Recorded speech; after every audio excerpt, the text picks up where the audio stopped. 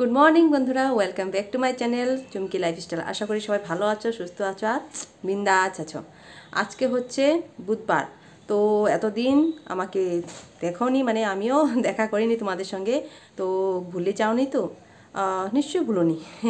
কারণ আমিও যেমন ভুলিনি, তেমন তোমরা আমাকে ভুলোনি। মানে ব্লগটা দেই নেই হয়তো এতদিন যাওয়া ব্লগ দিতে পারছিলাম না। বন্ধুরা হয়তো আমার ওয়েট করছিলে, ব্লগের ওয়েট করছিলে, ভিডিওর ওয়েট করছিলে, যারা আমাকে ভালোবাসা। আমি সেটাই আশা করছি, তাই বললাম তোমাদেরকে। তারপরে জানি না, কিন্তু দিতে পারছিলাম না, তার কারণটা হয়তো সবাই জানো, কারণ এই কদিন খুবই ব্যস্ত ছিলাম, সেই আমাদের আশ্রমে, রামকৃষ্ণ মিশন মিশন আশ্রমে। সবাইকে তো কার্ডটা দিয়েছিলাম, অবশ্যই দেখেছ। তো তিন দিন ওখানে ব্যস্ত ছিলাম, তার আগে ছিলাম গেস্ট বাড়িতে ছিল ওদেরকে খাওয়া দাওয়া সেটা অল্প অল্প তোমাদের কাছে শেয়ার করব ভিডিওতে, সেটা দেখতে পাবে। তো সেটাই বললাম যে গ্যাস ছিল, ওদেরকে খাওয়ানো দাওয়ানো হলো, তারপরে কালো খাওয়ানো হলো। তারপর সেই পিসির ছেলের শ্রাদ্ধ গেল, তারপর মৎস্যমুখী, এগুলিতে অনেকটাই বিজি ছিলাম, আর সব জায়গায় তো ভিডিও করাও যায় না। তো যত জায়গায় পেরেছি মানে মিশনের ভিডিও একদম শুরুর থেকে মানে ফার্স্ট দিন থেকে, তিন দিন হয়েছে তো ফার্স্ট দিন থেকে একদম লাস্ট ডেট তরি, আমি যা যা মোবাইলে তুলতে পেরেছি ক্যাপচার করতে পেরেছি। সবটুকুই তোমাদেরকে অল্প অল্প করে শেয়ার করে দেব। আর আশা করছি অবশ্যই ভালো লাগবে। আর যারা আমার ভাই বোনরা আসতে পারেনি, তাদের হয়তো খুবই ভালো লাগবে। কারণ যে, যারা আসতে পারেনি অসুবিধার জন্য, তো এখান থেকে দেখবে, দেখলেই মনে হবে যে, আমরাও ওখানে আছি। সেটাই ফিল করতে হবে, তাই না? সে আমরা তো সবাই তো সেই বৃন্দাবনে যেতে পারি না, কিন্তু ওই আজকাল তো সেই সোশ্যাল মিডিয়ার যুগে মোবাইলে দেখে সেটা আমরা মনে মনে করতে হবে আমাদেরকে যে আমরা ওখানে আছি। তবে তো দেখাটা সার্থক হবে। তাই না? তো যেটা আমি ভাবি সেটাই বললাম তোমাদেরকে। আর সেটাই আমি চেষ্টা করব অল্প অল্প করে তোমাদের কাছে প্রেজেন্ট করতে। ছোট- ছোট্ট করে, বেশি বড় করে না বোর করে না।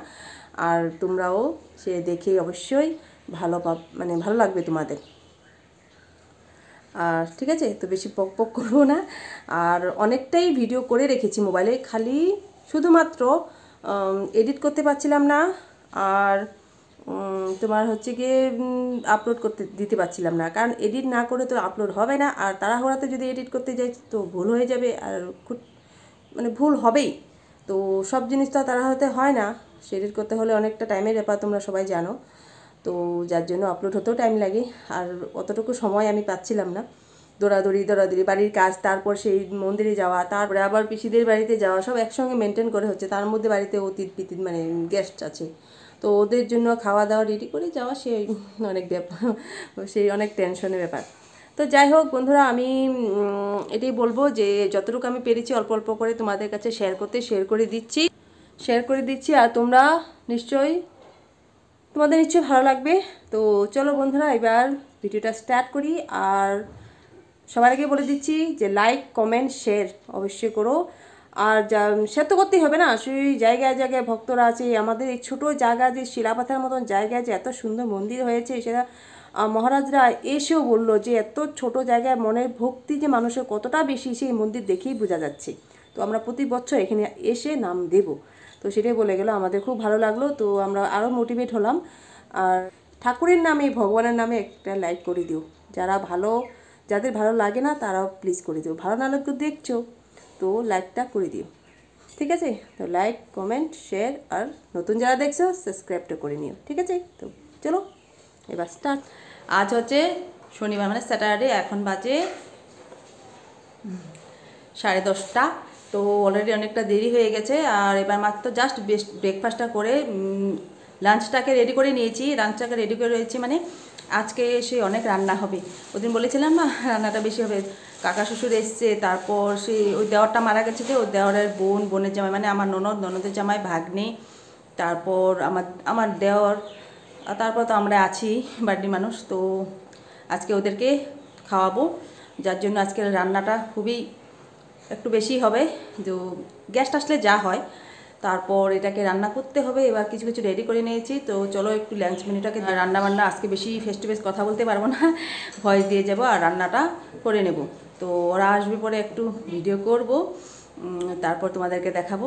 তো চলো বন্ধুরা, এবার লাঞ্চ মেনুটাকে দেখে নিই। আর কি কি রান্না হবে? রান্নাটা দেখাবো না, কী কী রান্না হবে। লাঞ্চটা ফুল মেনুটাকে দেখাবো। ঠিক আছে? তো চলো। তো বন্ধুরা, এই দেখো মুগ ডাল সিদ্ধ করে নিয়েছি। আজকে শুক্তার ডাল বানাবো। তো মুগ ডালটা ভেজে সিদ্ধ করে নিয়েছি।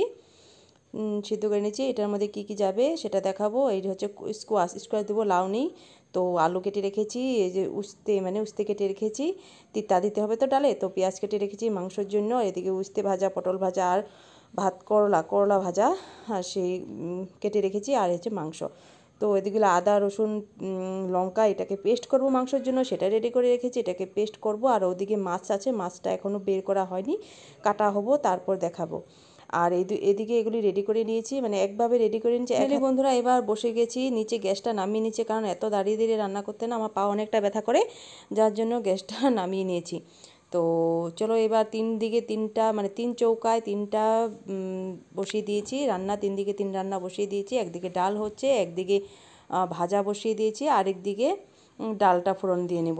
তো যাই হোক, এবার রান্নাটা করে নিচ্ছি। এদিকে আলুটা ভেজে নিচ্ছি, মাংসের আলুটা। তো কালো কড়াইটা আমাদের মাংসের আলুটা ভেজে নেব। মানে যত তাড়াতাড়ি পাচ্ছি মাংসটা বসিয়ে তারপর মাছটাকে ধরবো।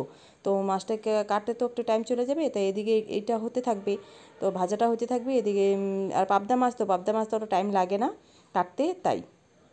তো বন্ধুরা, এবার দেখো শিলনোড়াতে সেই সর্ষা বেটে নিয়ে নিচ্ছি। সর্ষাটা কী হবে? সর্ষা দিয়ে মাছ ভাপা করব, পাবদা মাছে। আর এদিকে মাছ ভাপাটাও করেও নিয়েছি। সবটাই দেখালাম না, তোমাদেরকে অল্প অল্প দেখালাম রোজ রোজ তো। আর এগুলি দেখাতে ভালো লাগে না, তোমাদেরও দেখতে ভালো লাগবে না। এদিকে মাংসটা হচ্ছে, তো মাছ মাংস অলরেডি হয়ে গেছে। এবার করব চাটনিটা। ডালও হয়ে গেছে, ভাজাও হয়ে গেছে। এবার চাটনির জন্য আমটা, কাঁচা আম এনেছে তো তো আমটা একটু কুড়িয়ে নিয়েছি। আমটা মিষ্টি তো, তার জন্য কি করব? একটু তেঁতুল দিয়ে দিব, তাহলে একটু টক হবে। তো বন্ধুরা রান্না বান্না শেষ, শনিবারে সেই খাওয়া দাওয়া শেষ, এগুলি আর দেখালাম না। তো এবার রবিবারে চলে এলাম আর সানডে ফিফটিন ফিফটিনে আজকে সানডে তিনটার সময় আমাদেরকে ডেকেছে সেই রামকৃষ্ণ মিশনে এই দেখো। তো মিশনে সেই গেট এটা আমার মিশনে সে আমাদের গেটটা সেই সুন্দর করে সাজানো হয়েছে। এবার আমরা গেটে ঢুকছি, খুবই বৃষ্টি ওয়েদার খুবই খারাপ। তো কি করব আর, বৃষ্টিও পড়ছিল, এখন একটু নেই। তো চলো এবার মন্দিরের ভিতরে ঢুকি আর মন্দিরের ভিতর দিকে ঢুকেই সে সম্পূর্ণ দেখিয়ে দিচ্ছে তোমাদেরকে, ঠিক আছে? তো চলো ভিতরে যাই। বন্ধুরা, এবার আমরা মন্দিরের ভিতরে মানে সারি সারি করে দাঁড়িয়ে আছি। মানে দাঁড়াতে বলেছে যে মেহরাজরা আসবে তো তো গাড়ি ভিতরে ঢুকে যাবে আর গাড়ির সামনে মানে নিচে কার্পেটের নিচে ফুল মানে ফুল দিতে হবে আর সেই ফুলের উপর দিয়ে গাড়ি যাবে মানে আমাদের স্বামীজির গাড়ি যাবে। তো চলো বন্ধুরা, এবার আমরা সারি সারি করে দাঁড়িয়ে নিই। তারপর সবার হাতে ফুল দেওয়া হবে, শঙ্খধ্বনি হবে, উলুধ্বনি হবে। তারপর সেই মহারাজটিকে ওয়েলকাম করবে।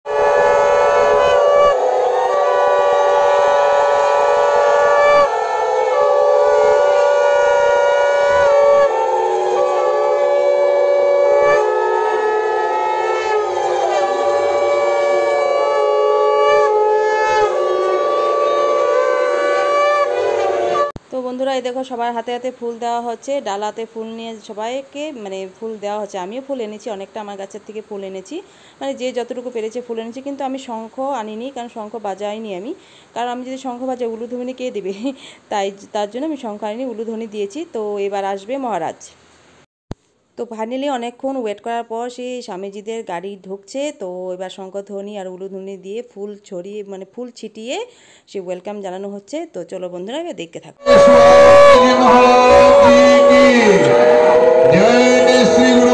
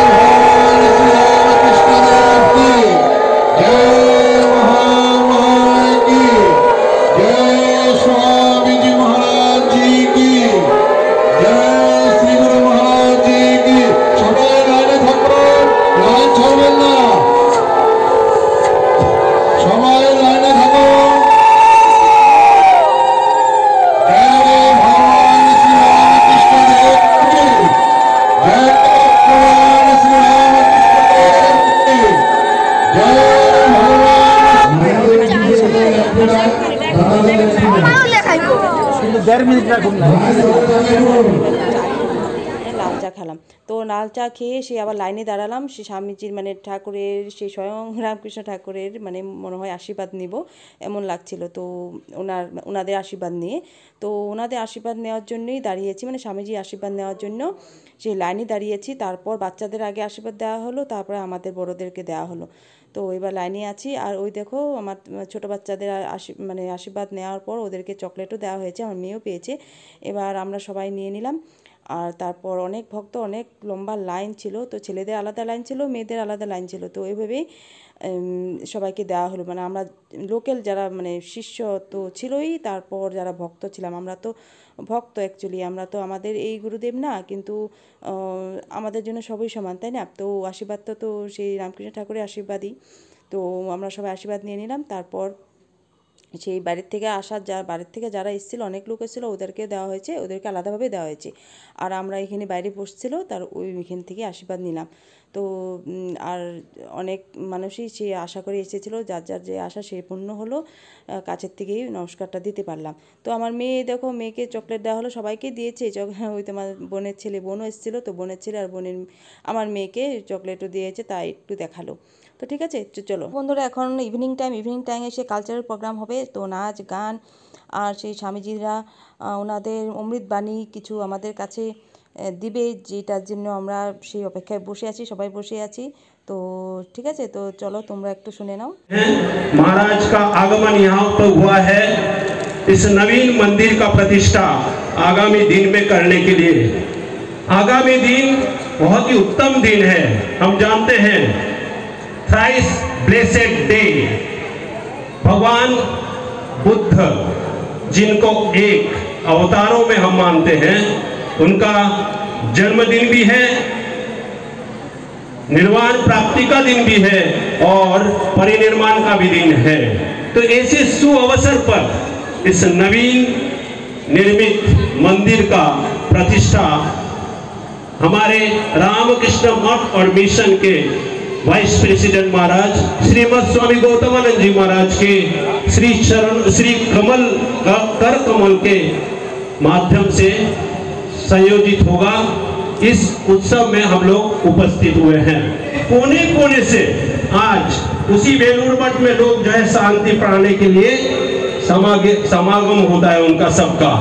मानो उसी प्रकार स्वामी जी के, श्रीमद स्वामी योगीशानंद जी महाराज जी के दिशा निर्देश में आप भक्तों ने शिलापातर के भक्तों ने, भगवान श्री राम कृष्ण देव का सुंदर मंदिर, बहुत ही सुंदर। इंटरनेट का जमाना है ना? कुछ भी हम खरीदते हैं तो उसकी रेटिंग देखते हैं। कितना रेटिंग हुआ है? तीन रेटिंग दो रेटिंग नहीं खरीदते हम। जब उसकी चार रेटिंग होता है, पाँच रेटिंग होता है, फट से जो है उसको खरीद लेते हैं। मैं तो इसको पाँच में से दस रेटिंग दूँगा। ये शिला पत्थर के भक्तों का जो है प्रयास है। सम्मिलित प्रयास। और स्वामी योगीशानंद जी महाराज के दिशा निर्देश से मैं उनके श्री चरणों में प्रणाम करता हूँ। इतना सुंदर मंदिर आप लोगों को दिया है। और यहाँ पे स्वामी जी जो है प्रतिष्ठा करने वाले हैं। और भक्तों के लिए, शिला पाथा के लिए ये मानो हृदय स्थली होगा। हृदय केंद्र बिंदु होगा।